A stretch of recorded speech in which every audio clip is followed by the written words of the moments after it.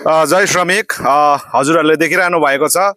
आज हामी यहाँ फाटकमा श्रमिक आन्दोलनमा यहाँ हामी सहभागी बनिरहेको छौँ।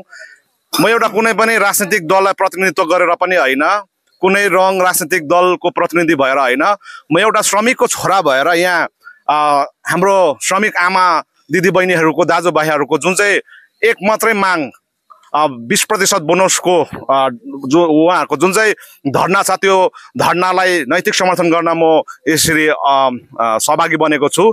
र उहाँहरूले अहिले तपाईँहरूलाई थाहा भयो कि विदितै भएको कुरो हो कि यो जुन चाहिँ अहिलेसम्म कुनै पनि प्रकारको सरकार पक्षबाट कुनै पनि त्यस्तो ठोस निर्णय नआउँदाखेरि अथवा तेह्र प्रतिशतमै सरकार पक्ष चाहिँ अडिक रहेकोले गर्दाखेरि आजको जुन चाहिँ टोकन स्ट्राइक थियो यो टोकन स्ट्राइक अहिले छ बद्न लाग्यो यो सफल भयो है। अनि जतिले सफल पारिदिनु भयो उहाँलाई धन्यवाद। र भोलिदेखि श्रमिकहरूले अब भोलिको यहाँ कुरो आउँछ भोलिको आन्दोलन कसले गर्यो भनेर। यो आन्दोलन चाहिँ श्रमिकहरूले गरिरहेको छ।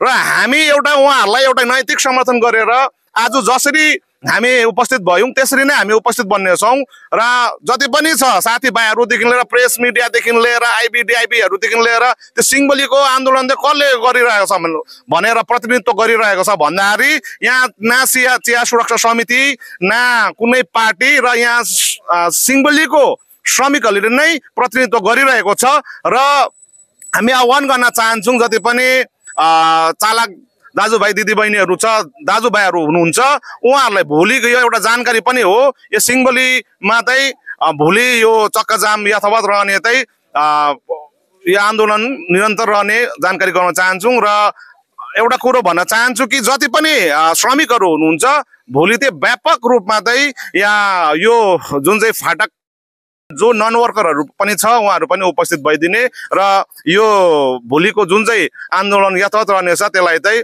म एउटा कमाने छोरोको रूपमा मेरो चाहिँ व्यक्तिगत एउटा सपोर्ट छ र म सहभागी बन्नेछु। धन्यवाद।